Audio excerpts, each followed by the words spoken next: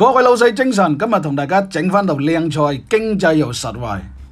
这个我们叫做圣子，它的个头虽然是小个，但是肉质还是挺肥厚的。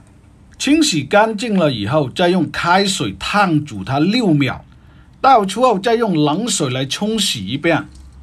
接下来直接把里面的螺肉取出。今天和大家研究的是蒜蓉西瓜蒸圣子螺肉，挑出后再次用冷水来冲洗它一到两遍。在焯水的时候，大家就要注意了，烫煮的时间不宜太长，否则螺肉会收缩，会影响到盛菜时的口感。所以在焯水的时候，这个时间一定要把关好。这种我们叫西瓜，表皮一定要打干净，然后再把它切成条形，里面的瓜囊可以不要，把它切掉。这种西瓜平时我们用来清炒。或者是做汤，它的味道是很清甜的。那么搭配和小海鲜一起同煮或者蒸，它的味道就会更好。把准备好的蒜蓉再用清水来冲洗一遍，这样炸出来的蒜蓉就不会发苦，而且不发黑。在油炸之前，一定要把里面的水分挤干。接下来开始表演，这个是花生油，在加热的同时会冒出一定的白泡泡。加热后，先把西瓜放到里面，炸至它呈现为深绿色的时候即可捞出。这时候的熟度已经是达到了六成，然后再把准备好的蒜蓉放到油锅里面，炸至它金黄色。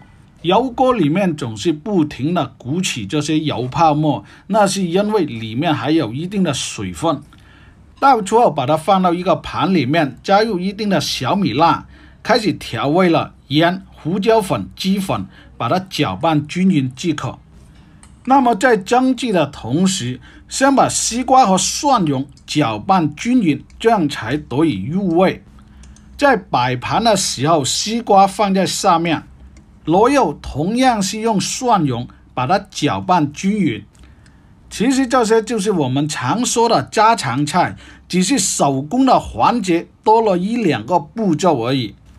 螺肉铺在上面的好处，就是让它在蒸制的同时，让里面的汤汁渗透到西瓜里面。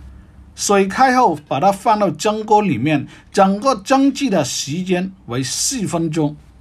出锅后，给它撒上适量的葱花、海鲜酱油和热花生油，一道蒜蓉圣子螺肉蒸西瓜就制作完成。